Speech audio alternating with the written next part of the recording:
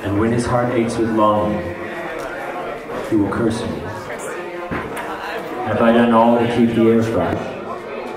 Have I cared enough about the water?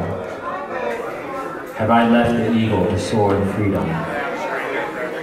Have I done everything I could to earn my grandchildren's fondness? A very great vision is needed, and the man who has it must follow as the eagle seeks the deepest blue of the sky. It does not require many words to speak truth. In truth, there are people right now, people like this great tribe behind us, who are suffering and fighting for land that has been destroyed for the last 300 of years.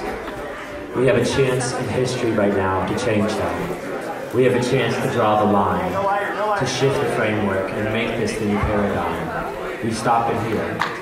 We take our land. We show them the sacred spirit still stands. And from this point on, that's where we go. We build forth and we grow and we grow. I'd like to welcome Elton to the stage. Thank you so much, everyone. Thank you for being here.